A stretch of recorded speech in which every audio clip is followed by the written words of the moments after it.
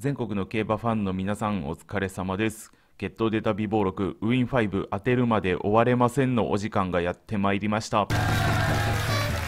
えー、ウィン5当てるまで終われません、えー、シーズン1ですね。今回で、えー、ボリューム7、えー、第7回目となります、え、まあ当たったらですねシーズン1が終わるという形でやっておりますので、え、まあ、今回で7回目ということで、え、過去6回ちょっとあの惨敗に終わっているんですが、えー、前回のボリューム6ですね、第6回ですね、まあ、結果的にはちょっともう1レース目からダメだったんで、ウィン0という形で終わってしまったんですが、まあ、よくよく見るとですね、えー、2着だったのが3レースありまして、1着だったのが2レースあったので、まああのー、もう一歩というちょっと判断をしていいんじゃないかなと思いますので、まあ、その借りを返すべく今週やっていきますのでよろしくお願いいたします。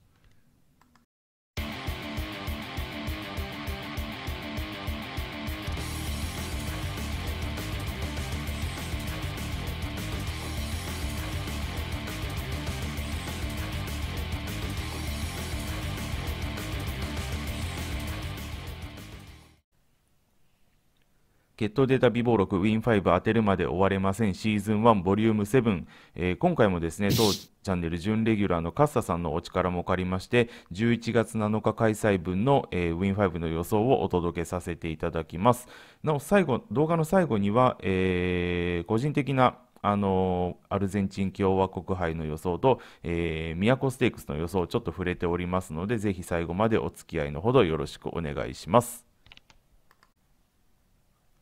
はい、それでは冒頭ですね、企画概要のおさらいをさせていただきます。えー、当チャンネル準レギュラーのカッサさんと分担して Win5 の予想をお届けします。えー、シーズン1では点数制限などのルールは加えておりません。え、的中できたらシーズン1が終了となります。え、シーズン2からはですね、点数制限などの、え、ルールだったり縛りだったり条件を追加しながらチャレンジしていければなと思っております。えシーズン1ですね、当たるまでですね、続けていきますが、え私、マサも、え協力いただいているカッサさんも責任を持って紹介する解明を買い続けるという地獄の企画となっております。えなんとかですね、年内には1回シーズン1終わってちょっと休憩したいなと。思っております。ちょっとお金がもうあの底をつきそうなので、そろそろ当てたいなと思っておりますので、ぜひ応援してください。それでは早速予想の方を見ていきましょう。はい、それでは見ていきます。えー、なお、今回ですね、東京のレースに関しては、カッサさんに予想の方を担当していただきました。えー、阪神と福島の方は私、マサが予想を担当しております。では、ウィン5対象1レース目となりますね、東京10レース、ダート1600メートルで行われます、東京10レースからお届けします。えー、8番のバンブトンハート、10番のルコルセール、12番のストームガスト、えー、この3頭をカッサさんに指名をしていただいております。えー、カッサさんの解説としましては、まあ、10番のルコルセールが現在1番人気となっているんですが、まあ、ルメール様が安城ということで、まあ、完全に実力上位ということで、まず10番指名をしましたと。で8番のバンブトンハート、現在7番人気。ストームガスト現在8番人気となっているんですが、8番のバンブトンハートですね、えー、こちらはですね、サウスビグラス3区なんですが、まあ、サウスビグラス3区が得意とする、えー、まあ、今回ちょっと距離短縮のローテーションとなると、まあ、前走ちょっと距離が長かったかなというところがあると思いますので、今回、まダート 1600m に変わるということは大幅なプラスが見込めるんじゃないかということです。12番のストームガストについては、まあ、このコースであの実績があるということで指名だったんですが、ちょっとあの私の方で1個データ出させていただきます。えー、外枠、まあ、今回ちょっと両馬場で行われる感じで大丈夫かなと思うんですが、まあ、外枠のシニスターミニスター3区、この、えー、ダート 1600m、東京ダート 1600m でかなりあの信頼ができるというデータもありますので、まあ、笠さんの方でもお勧めをしていただいておりますし、私のちょっとで取ったデータの方でもかなり押せるんじゃないかなという条件は整っております。えー、8番のバンブトンハート、10番のルコールセール、12番のストームガスト、東京10レースはこの3頭で突破を狙います。はい、続きましては、えー、ウィン5対象の2レース目となりますね。阪神10レース、えー、芝1200メートルで行われます、道頓堀ステークス。こちらの方は私、マサが予想を担当しております。えこちらですね、8番のスマートクラジュ1頭のみとさせていただきました。まあ、こちらですね、今圧倒的な一番人気となっているんですが、えー、まあ前走、前々走とですね、まあ、先行馬が全滅する流れを、まあ、の前の方で好意で競馬してしまってますので、まあ、ラップ的には逆流を踏ん張る強い内容だったということです。まあ、あの超ハイペースに今回も巻き込まれなければですね、まあ、1枚上の存在かなとも思いますし、まあ、超ハイラップを先行している時点でですね、まあ、今回 1200m に距離短縮になるのも好材料かなと思っています。えー、まあ、スムーズに競馬できれば、えー、松山騎手に乗り換わっていますし、このスマートクラージュ1頭で大丈夫なんじゃないかなと思っております。はい、続きましてはウィン5対象3レース目となります福島11レース、えダート 1150m で行われますフルーツラインカップです。えこちら4頭ですね、えー、私、マサが、え予想を担当しておりますが、1番のお主何者、え7番のスワーブシャルル、8番のパワフルヒロコ、16番のサイファーシチー、ちょっと多めにはなってしまうんですが、この4頭を指名させていただきます。えー、まあ、とにかく前々で競馬できそうな馬ということでピックアップをしたんですが、ちょっと外枠の方にあの逃げなきゃだめみたいなタイプの馬もいるんで、まあ、ここはちょっと除外をしまして、まあ、2番手、3番手、4番手あたりであのしっかり逃げ馬見ながら競馬できそうな前々で競馬できるできる馬ということで4とピックアップをしております。1番のお主何者3区はカレンブラックヒル3区になるんですが、こちらちょっとデータを出させていただきます。まあ、以前このコースのコースデータ分析の動画で、え、出させていただいたデータになるんですが、ま、カレンブラックヒル3区ですね、このコースにおいて、ま、6回出走があるんですが、6回中5回馬券になってまして、ま、そのうち2回勝っているという、ものすごいあのかなり高確率で、あの馬券圏内へのと、えー、突入がえー、期待できる守護馬となっております、えー、カレンブラックヒル3区、このコースでかなりあの期待できるんじゃないかなということで、今回、え、1番のお主何者しっかり入れております。あと7番のスワーブ・シャルル・ロード・カナロア3区になるんですが、ま、こちらもちょっとデータ出します。これもあの以前の動画で、お話しした内容にはなるんですが、ま、ロード・カナロア3区全体で数字出すとこのコースあんまり良くない成績になるんですが、あのボバに限れば結構高い勝率あの期待できますので、ま、このスワーブシャルル、え、ロードカノラ3区のスワーブシャルルもしっかり拾うといった形です。あと外枠から、え、ま、あのスムーズな競馬ができそうな、えー、前々でスムーズな競馬ができそうな12番パワフルヒロコと16番のサイファーシチーを入れております。えー、一番人気が想定されてますスペクタクルですね。こちらちょっと昇級戦になるので、まあ、どこまで通用するかっていうのがちょっとあの微妙だったので、ちょっと一番人気ですが外しております。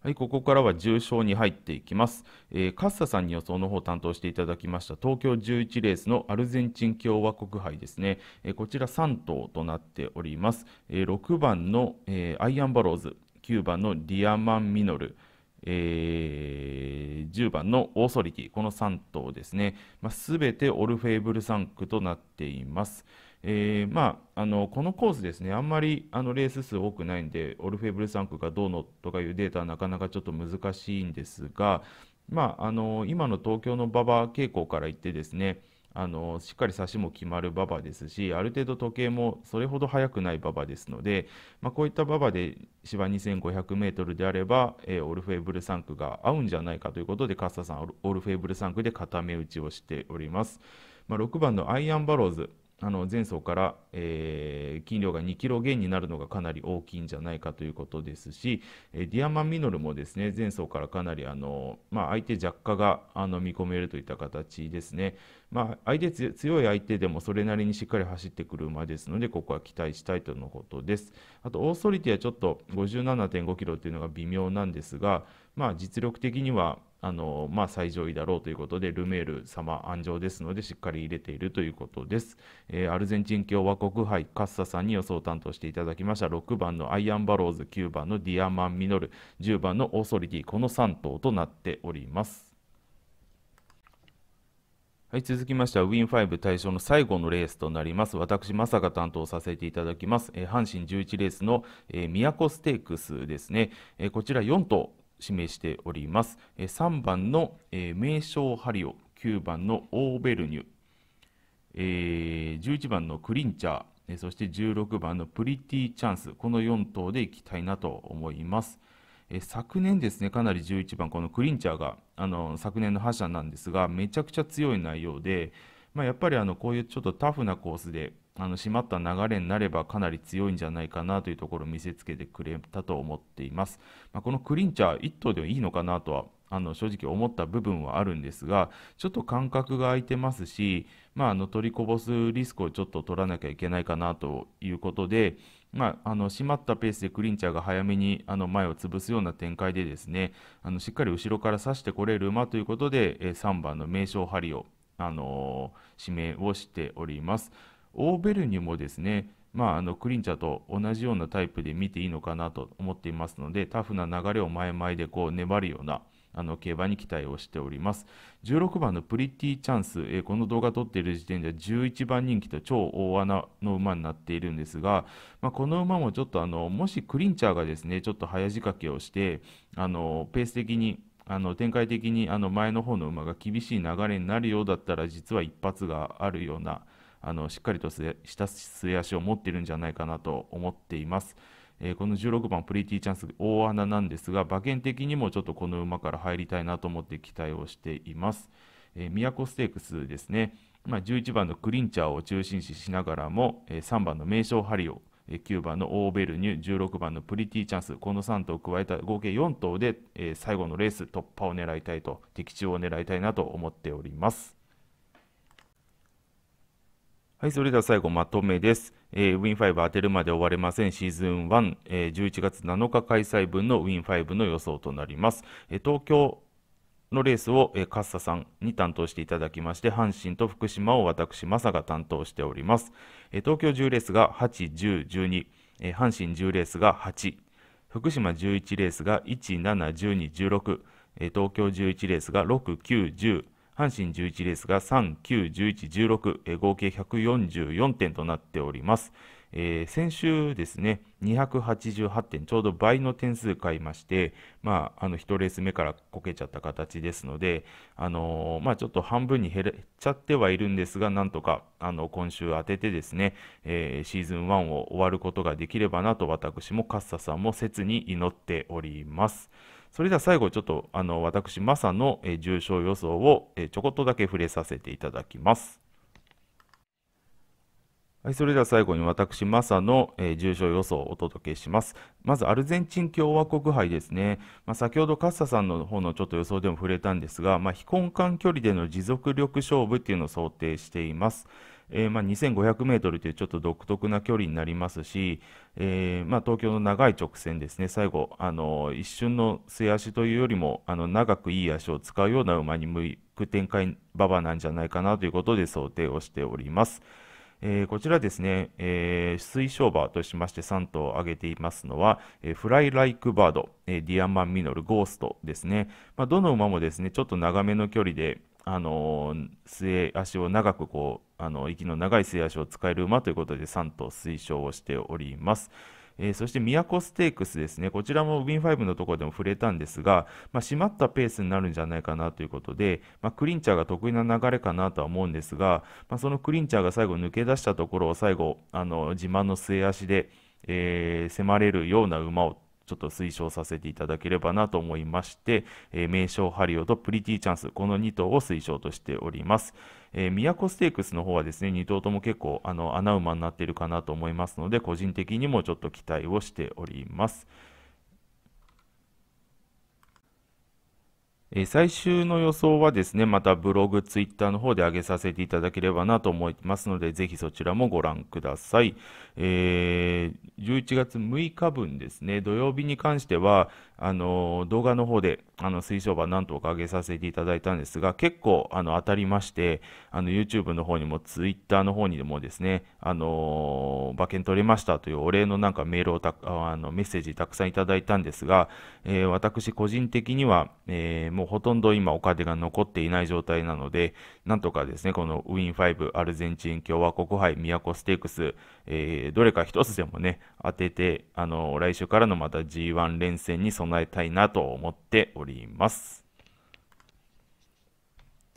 はい、それでは最後まで、えー、ご覧いただきましてありがとうございました。えー、血統データ微暴録 YouTube チャンネル今後もですね、えー、予想に役立つデータをどんどん積極的に配信していきたいなと思っております。えコースデータ分析、シュボバデータ分析、え今回のようなレース予想、ウィン5予想をあのどんどんどんどんお届けしていきますので、ぜひあのチャンネル登録をしていただきまして、次回の動画でまたお会いできればと思います。それでは最後までありがとうございました。また次回お会いしましょう。